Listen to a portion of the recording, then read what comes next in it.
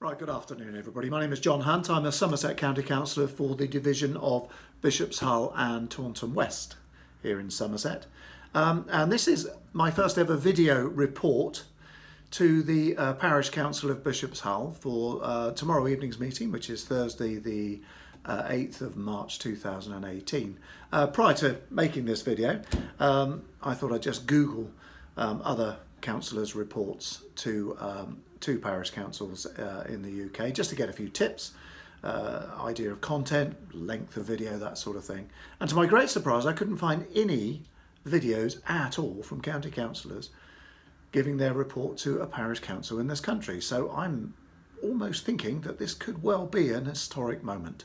So I'm going to claim that this is the first ever video councillor's report given by a county councillor to a parish council. If you know differently, get in touch. Anyway, on to the more serious. Right, so let's get on with the report then, shall we? Start off with parking. Um, I've had lots and lots of uh, emails and social media contact from residents regarding four main areas um, in the village. These are uh, Richmond Park, Waterfield Drive, the corner of Bishop's Hull Road and Bishop's Hull Hill, so that's opposite Netherclay. Um, and also Shutewater Hill, Shutewater Close, that area um, at the bottom of the hill there. Um, I'll start um, with uh, Richmond Park. Uh, residents there have asked me for a, um, a residence parking zone, residence parking area. Um, to my great surprise, when I asked uh, Highways for this, they said actually this is being considered.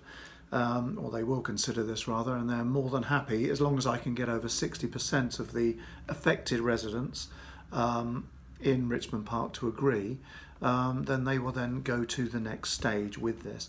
Um, I have been down to Richmond Park. I met I met most of you on the 24th of February. Um, I knocked on the doors of those that didn't meet me outside.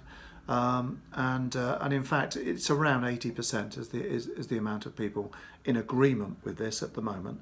Um, I would just like to briefly say to those of you, should you be watching this video, those of you that did object, and there were only a couple of objections, I completely understand your objections, as do the other residents.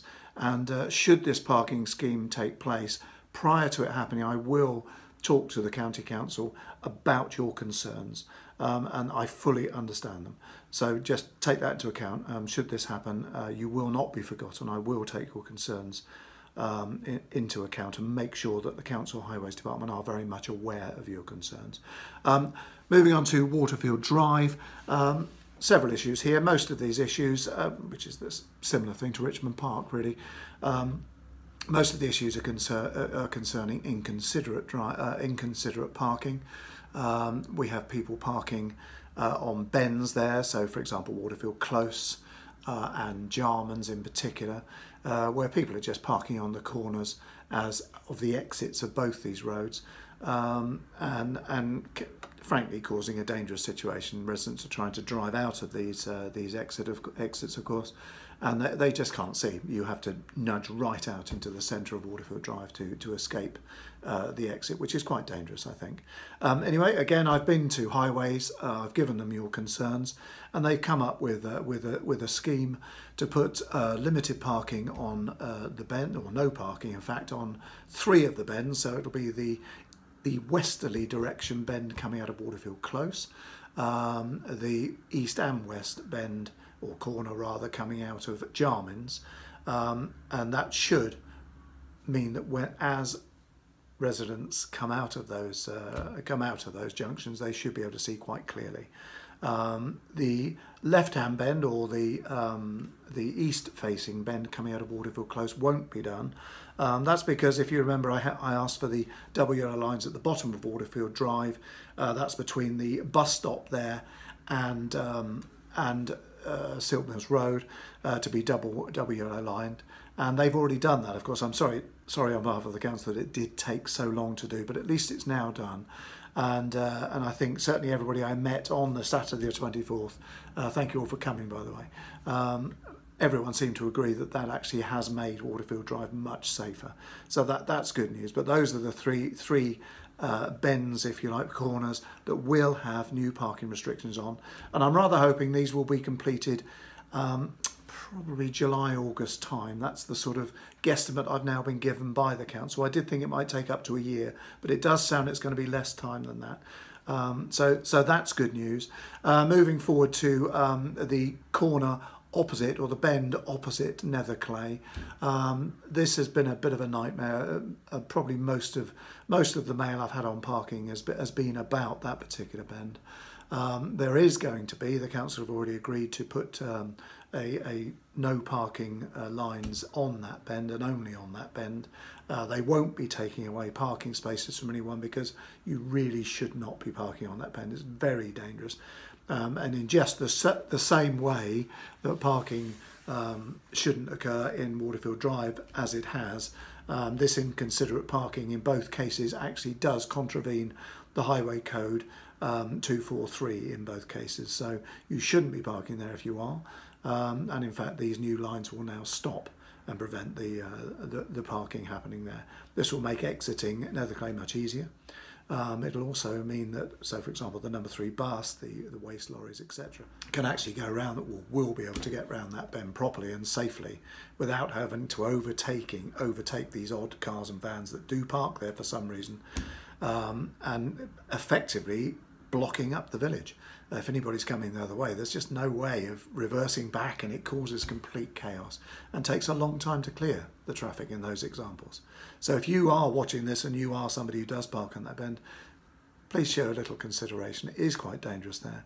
Um, it's also difficult for school children too. They, they use that as a crossing before and after school uh, for those people who live in, in the Netherclay region there. Um, so it's quite difficult for them to get get a, get across the road there. So if you're not parked there, or if, if vehicles are not parked there, then clearly this will make things a lot safer for them. Um, moving on to Shutewater Close. Uh, Shutewater Close is, if you go down Shutewater Hill, it's the first right at the bottom. Um, and inside Shutewater Close there, the, the parking situation there is uh, is very, very difficult in the in the whole area there. The area obviously was built in the 60s, or most of it was built in the 60s, um, when of course if you owned a car, you were actually doing very well for yourself. It was quite unusual to own a car back in that day. Um, now, of course, most people have two and some have more vehicles than that. Um, and it is almost impossible to park there. It's very, very difficult indeed. I completely understand why you're all so frustrated with the situation. But I hope you can understand also from a council perspective, and I'm certainly not taking their side, my only side is your side. Um, but, it, but how do you cure that problem? Having said that, I do believe we may have come up with a cure. Uh, one of the local residents there suggested to me um, that we turn the grassed area in uh, Shutewater Close into a car park. Uh, now, actually, I, when, I, when I first heard that, I thought, what a great idea, and no way will the council go for that. But actually, having discussed this part with, with Somerset County Council Highways Department, they were pretty keen. Uh, it will cost money, um, but they do feel they found a pot of money somewhere that they can perhaps gain access to to build this new car park for everybody down there.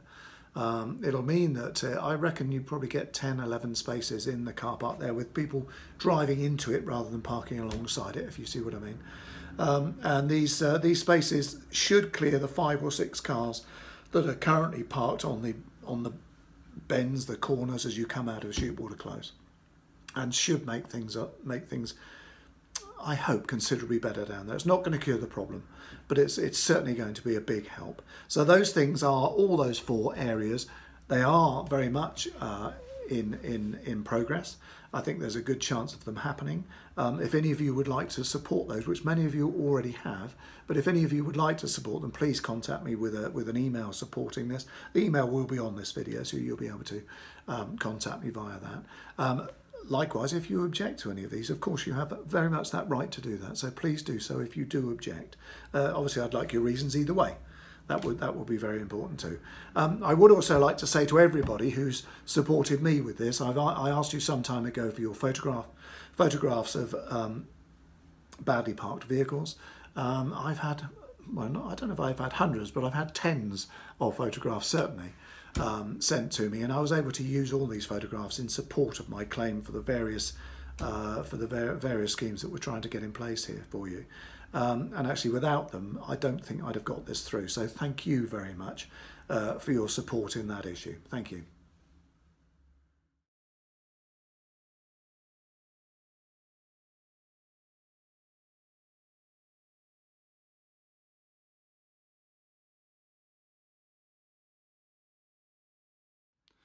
Right, okay, so on to the next subject, which is the snow. Um, not a great period for us all, was it? It's very cold and uh, quite uh, quite serious. It's the worst snow I've seen in Bishop's Hull, certainly.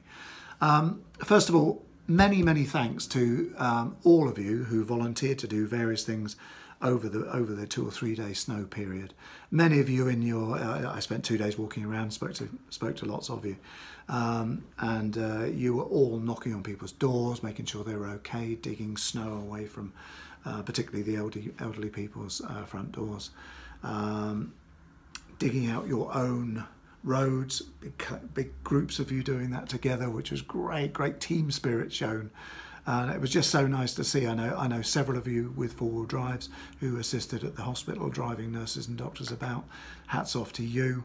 Um, so many people doing so much for other people, and it was lovely to see the village coming together in a true community spirit. It was lovely, and. Uh, the one thing I would just like to suggest to the parish councillors, if I may, um, the one thing we needed was some sort of help uh, not a helpline as such, but we needed a group of people who can go out there and assist those that need help in the village.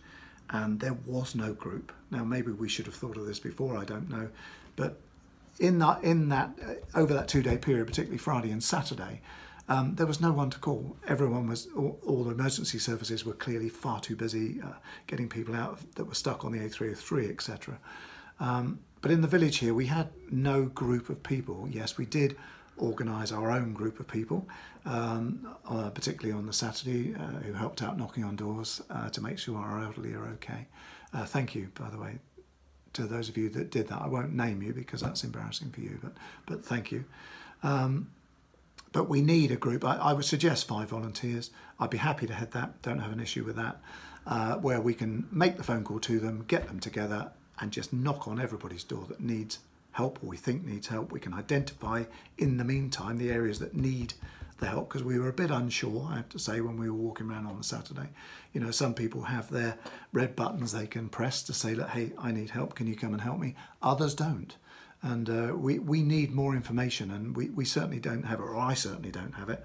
Um, and if others do, then please contact me and, uh, uh and, and help us to help ourselves. That's what we need. Okay, so on to the next subject, which is the police. Um, I met with the police on the 18th of February at Taunton Police Station. It was a Sunday morning. Uh, a couple of hours chat with them. Uh, I, I, asked for the meeting because I wanted to um, get a better understanding of where we are with the police in uh, here in Bishop's Hull.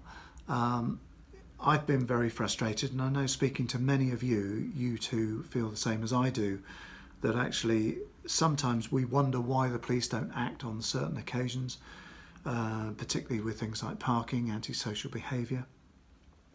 And actually, having met them now, I've got a better understanding. My, my frustration, I, I did tell them how frustrated I was at the meeting, and, and they managed to um, give me a give me their version of it, if you like, uh, which was important to hear and, and to get a better understanding of why there is an issue about them acting on various things that we think should be acted on, but actually uh, sometimes it's not necessary. However, I did go through the meeting, we discussed antisocial behaviour. Uh, we talked about um, inconsiderate parking, um, CCTV, um, how to use the emergency numbers 999 and 101. Um, and actually, I, I, think now I have a, a, a better overview um, of what the police can and can't do. Um, and clearly, they are very much hands tied behind their back financially. Uh, they're not being helped uh, with any sort of monies at all. Um, but I think I have a better understanding of that now. So if you have any issues um, and you want to discuss them with me, I, I, hopefully I can enable you to understand what I've learnt to understand from them. Uh, so please do contact me. Right, okay, on to a vegetation issue now, which uh, which occurred in um, or on Silk Mills Road. Um, one of our um, local residents, a lady in her 80s, uh, was walking down. This this occurred on fri Friday, the 9th of um, February. Uh, walking down the uh, pavement there on Silk Mills Road, opposite Gillard's, um, fell. This is, we think, avoiding the vegetation that was sticking out onto the pavement there She rolled into the main Silk Mills Road, actually onto the road in front of an oncoming vehicle. Um, thankfully, this oncoming vehicle was doing one, two, three miles an hour, uh, very slow because there had been um, an incident on the M5. So the M5 was closed, hence Silk Mills was absolutely chock a block. Fortunately for this lady, um, the passenger in the car got out, helped her to her feet, minor bruising, and she phoned me later that day to tell me what had happened and what could we do about it. Um, we were lucky. This lady was very lucky. I phoned um, I phoned the uh, DLO and uh, our parish clerk Helen, who was obviously very helpful. I went out myself to cut back um, as much of this um, offending vegetation that I could get at. I'm not a great gardener, I'm afraid, so I didn't make a very good job of it. Um, but did manage to cut back some of it. Darren, who works for the parish council, also came out to help me move away the, the sort of disposed branches and things to keep them off the main road. So thank you for that, Darren. Um, and DLO did eventually come out. Um, this was uh, about a week later, perhaps a bit less than that, uh, to cut back the vegetation on the basis that the parish council would pay for this to be cut back. Um, that's a separate issue, who pays, um, but it was down to the parish council to pay for that. Um, they have cut it back and uh, they've also taken the pavement itself um, is about a third overgrown or was. They've now cut that back taken back that, uh, regained, if you like, reclaimed the full width of the pavement. So it's now, when you walk down, it is it is much much safer to walk on now. Um, so that part has been done. Um, I did also raise this at full council, Somerset County Council, on the 21st of February, um, asking that the Somerset County Council and Taunton Deane Borough Council get together uh, rather than working what appears to be at the moment against each other uh, to actually get these obvious areas of overgrowth of vegetation on main road pavements like Silk Mills Road. Get those cut, get them sorted out. Don't worry about whose cost it is first. Get it done, worry about the cost afterwards. Apparently, according to another Somerset County councillor uh, who's on the Borough Council in, in South Somerset, um, he tells me that it, it, South Somerset's way of doing is they have a problem, they come out, deal with that problem, I in this case Silk Road, and they worry about who's going to pay for it afterwards. The problem in the past has been can't get people out to cut down the cut down the vegetation because Taunton Deane or Somerset County Council can't work out between them who owns that piece of ground. Now that doesn't matter.